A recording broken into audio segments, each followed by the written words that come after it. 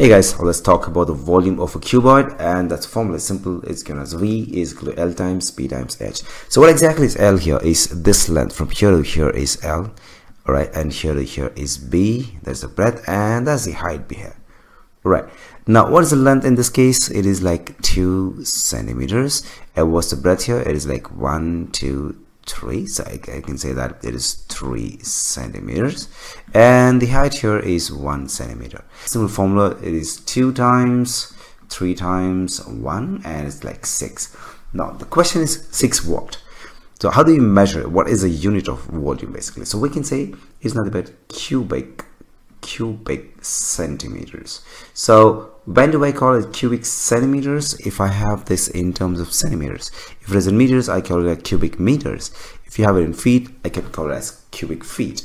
So right now we have it in centimeters so it is like 6 cubic centimeters or 6 I can write 6 cc so what exactly do you understand by 6 cc the best way to visualize the volume is to put boxes or cubes inside this box. So that's the first box or we call it be a cube right? Another cube another cube. So what is the dimension of this cube? The dimensions of this cube here is like one centimeter one centimeter and one centimeter. So if i calculate the volume of this it's like one into one into one or is nothing but one cubic cubic centimeter so we also call as 1 cc so that space that amount of space is called as 1 cc and how many boxes could i fix here? One two three.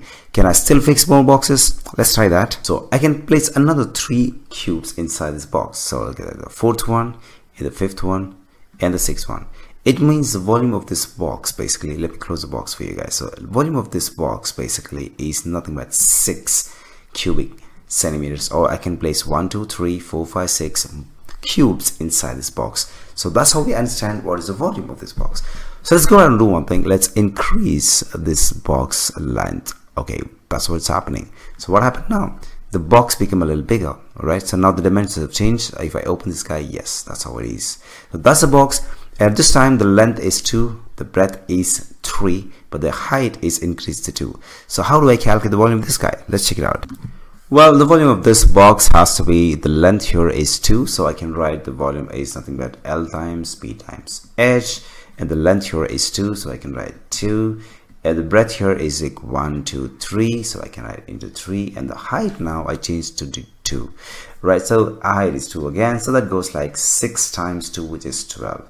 So what 12? 12 cc? Yes, 12 cubic centimeters. It means I can place 12 of these kind of boxes inside this here. So we already have one two three four five six. So we can actually place another six boxes inside this. Let's check.